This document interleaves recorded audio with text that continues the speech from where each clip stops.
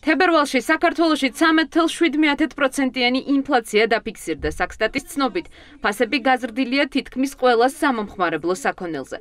გასულ თვეში სურსათისა და უალკოჰოლო სასმელების ჯგუფში ფასები 17.3%-ით გაიზარდა. ფასები ამ ჯგუფში ყველაზე მეტად ბოსნეულსა და ბახჩეულზეა მომატებული, ზრდა ამ პროდუქციაზე 34%-იანი იყო. ფასები გაიზარდა 23.4%-ით უალკოჰოლო სასმელებსა და ნატურალურ წვენებზე. ზრდა ფიქსირდება პურისა და პურ პროდუქტების კატეგორიაშიც. ამ შემთხვევაში პროდუქტები 20.8%-ით გაძვირდა. კომპანია ბარაკას დირექტორი ლადო ბიძინაშვილი აცხადებს, რომ ამ ნაწილში ფასების ზრდა ძირითადად განპირობებული იყო ხორბლის ფასით, რომელიც გასულ თვეში მსოფლიო ბაზარზე გაზრდილი იყო.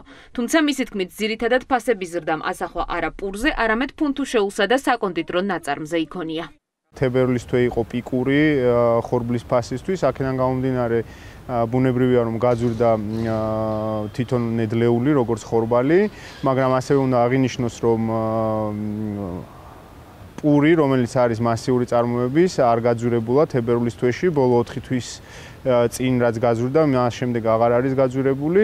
გაძვირდა ისეთი პროდუქტები, რომლებიც გამოიყენება ძირითადად საკონდიტრო წარმოებაში და შესაბამისად უმაღლესი ხარისხის ფქვილისგან გამომდინარე, რომელიც ცხובה.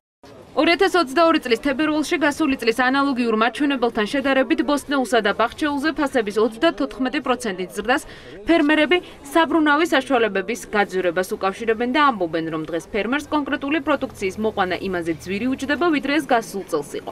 ორგანიზაცია მომავლის ფერმერის ხელმძღვანელი რუსტან გიგაშვილი ამბობს, რომ ფერმერებს პროდუქციის გაძვირება კიდევ მოუწევთ, რადგან დღევანდელ პირობებში არსებულ ფასებზე ნაკლებად პროდუქციის რეალიზება უბრალოდ წარმოუდგენელია.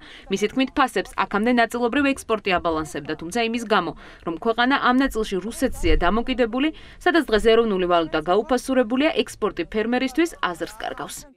თუ კი იქამდე თქვა ფერფერი კონკრეტულ სასუქში მაგალითად იხდიდა ერთ ტომარაში თქვა 75 ლარს, ეხლა 125 ლარი, 140 ლარის გადახდა უწევს, ანუ ფაქტობრივად საუკეთესო შემთხვევაში 50%-ით გაუძვირა, ხშირად არის რომ 100%-ით არის გაძვირებული საბრუნავი საშუალებები, ასევე გაძვირებული არის ტექნიკით მომსახურება. ამ შემთხვევაში ეს არის ობიექტური მოცემულობა. უბრალოდ რეალურად ფერმერი აი არ უღირს სხვანაირად. ამას ეშველებოდა ვთქვათ ისიც რომ გაქონდა ექსპორტზე თუნდაც იმ მინიმალურ ფასად და დღეს იმდენად გაუფასურებული არის რუბლი რომ უბრალოდ აღარც ეს არ უღირს თუნდაც ის რუსული ბაზარი, ყბადაღებული რუსული ბაზარი, იმიტომ რომ იქაც ძალიან იაფად უნდა გაყიდოს იმ თვითღირებულებაზე ნაკლებ ფასად და გააღმოჩნდა ძალიან გამოვალ სიტუაციაში და ამიტომ იძულებულია რომ აი ეს ის ფასი დაადოს, რა ფასიც უბრალოდ მას ჭირდება გადარჩენისთვის.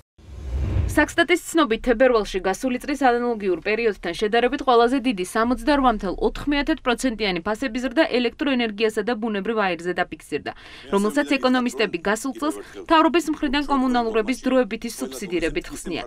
ეროვნული ბანკის პროგნოზით ინფლაცია კლებას მარტიდან დაიწყებს და წლის ბოლოს სამიზნე მაჩვენებელს მიუახლოვდება, თუმცა ეს პროგნოზი რუსეთის მიერ უკრაინაში ომის დაწყებამდე იყო გაკეთებული. შესაბამისად დღეს ამ მემართულებით ეკონომისტები არ გამორიცხავენ, რომ პროგნოზების გადახედვა მოხდეს.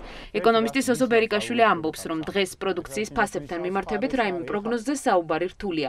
თუმცა მისი თქმით, მაშინ როცა ქვეყნის ეკონომიკა რუსეთზე დიდწილადაა დამოკიდებული, რაიმე პოზიტიურზე საუბარი შეუძლებელია. არ ვიცით რა იქნება. არ ვიცით მაგალითად სად იქნება ლარი რომელზეც არის დამოკიდებული ფასები ამ ქვეყანაში.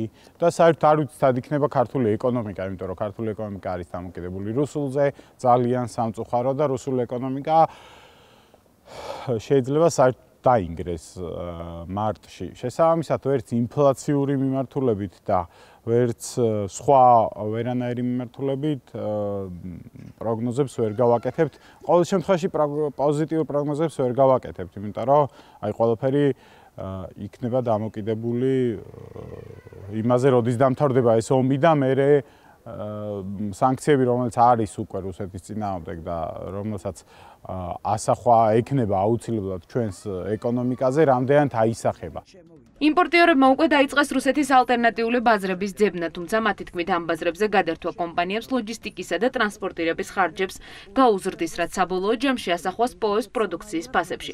იმპორტიორები მთავრობას იმისთვის, რომ ფასები არ გაიზარდოს, გადასახადების შემცირებისკენ მოუწოდებენ. ამიტომ მასთან ერთად მყოფი